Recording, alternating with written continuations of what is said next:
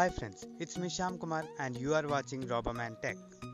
In this video tutorial, I am going to show you how to make an astable multivibrator with the 555 IC and blow two LEDs as shown in this video.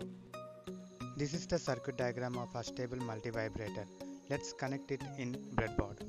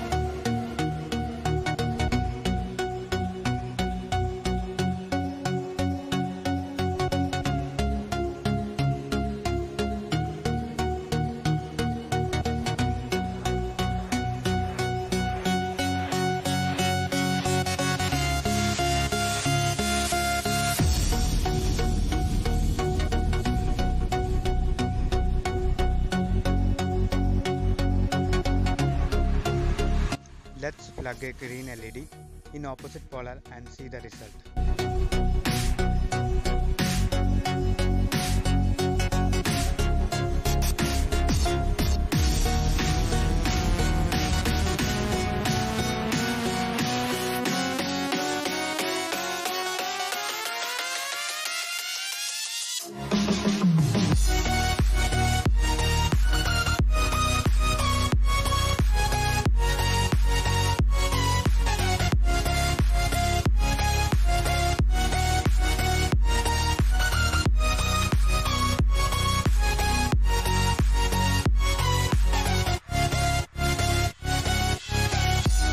Let's solder the circuit.